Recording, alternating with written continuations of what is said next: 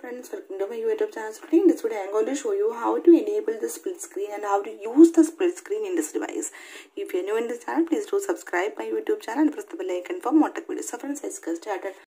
To enable the split screen in this device, first go to settings, then scroll down, tap on additional settings, then tap on button shortcut. Here you can see the option button shortcuts, tap on it so here you can see the option open split screen tap on it.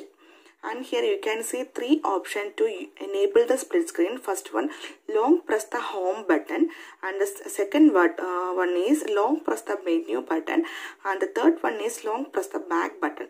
So here i am going to select the option long press the home button.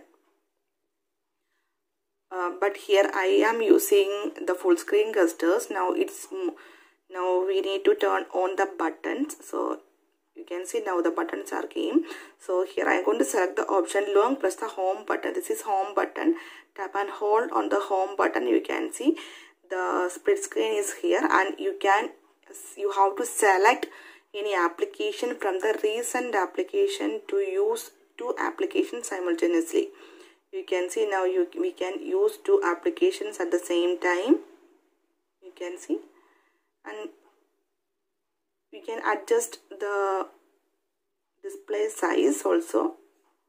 You can see. Okay. And if you want to select the option long press the menu button. This is the menu button and select this option and tap and hold on the menu button and select the application from the recent tab. You can see. Okay. And there is one more option long press the back button. This is back button and select the option long press the back button.